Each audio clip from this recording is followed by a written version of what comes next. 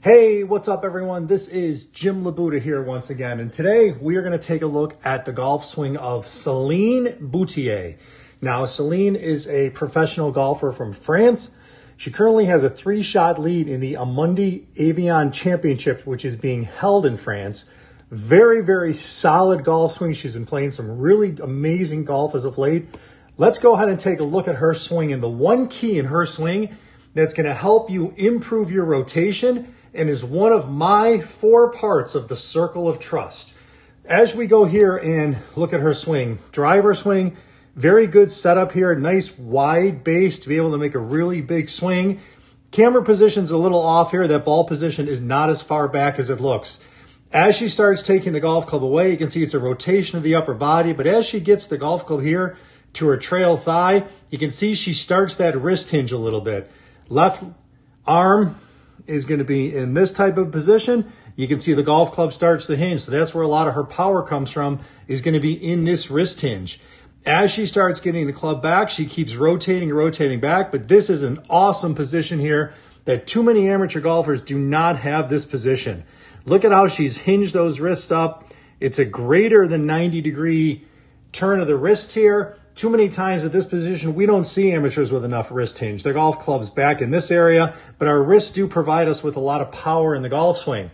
So this is one of the keys you want to have is if you're struggling with distance in your golf swing, get those wrists hinging a little bit earlier in the swing.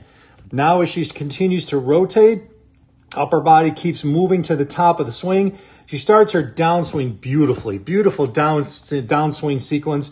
Left hip here, starts rotating, coming through. After she's transferred the weight over, you see a little bump to the lead side.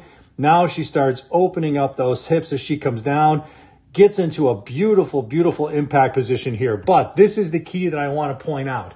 I want everybody to focus here on what her right shoulder does. Too many times in this position, our body stops moving and the golf club keeps going. Our hands and arms are what's controlling the club. But if you watch Celine Boutier here, what she does is that right shoulder keeps moving and rotating. Even at this point here, you can see that the hands are directly in front of the chest. She has stayed perfectly connected through the golf swing because of the fact that her right shoulder has continued to drive through. That is the fourth and final part of the circle of trust is that at the end of the golf swing, when you're completed your follow through, that right shoulder has to be facing the target. Celine gets into a very, very good position here. You can see that left leg really nice and straight. She posted up on that nicely. But the key to her distance, her power, and what's going to help you out in the swing is number one, the wrist hinge. But number two is making sure that at your follow through, that right shoulder is completely pointed through to the target. That means you've rotated your body through impact with maximum speed, maximum power, generating maximum distance.